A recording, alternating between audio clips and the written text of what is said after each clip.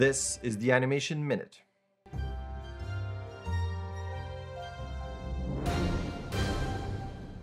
Welcome back to Animation Minute, and as always, I start with jobs here. Gladius Studios is hiring. Here's a posting for a lead technical animator. Here's one for a senior animator. And here they're hiring a full-time motion designer slash animator slash After Effects artist. Here's a posting for a cinematic animator. And here's a post looking for animators with rigging experience. This looks very cool. And it's also posting for hiring a senior animator.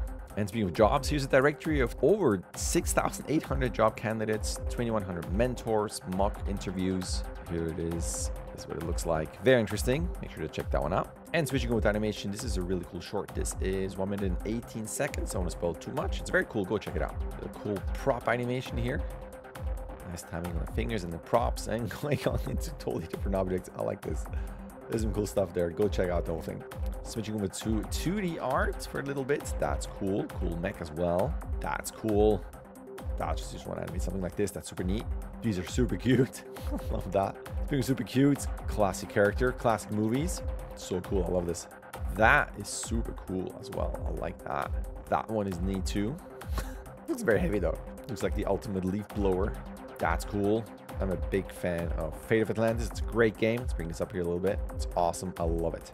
And I just backed the how to think when you draw. This is now volume 7. These are awesome. Make sure to check them out. I have them all. They're great. You can see them on my channel.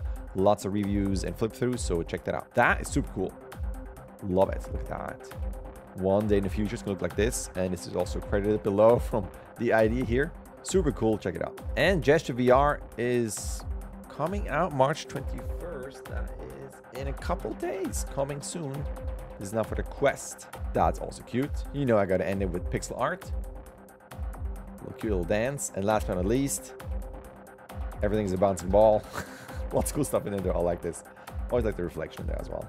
That's that Animation Minute. You can find it every week on Mondays on my channel.